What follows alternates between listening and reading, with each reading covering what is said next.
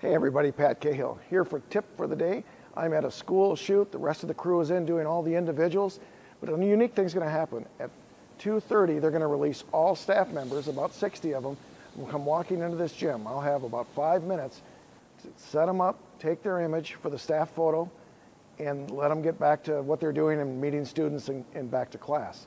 So the crucial thing is ahead of time, I've had to make sure my lighting was set up correctly, make sure the custom white balance was done, make sure my exposure was even all the way across the light. Because once they're released, once they come through that door, it's all tilt forward going on for this picture. There's no turning back. Get everything set up right, do it right, create a quality image, be prepared, and that'll remove the stress from the, from the moment of having to do that group photo. That's it for tip for today. We'll talk to you next time.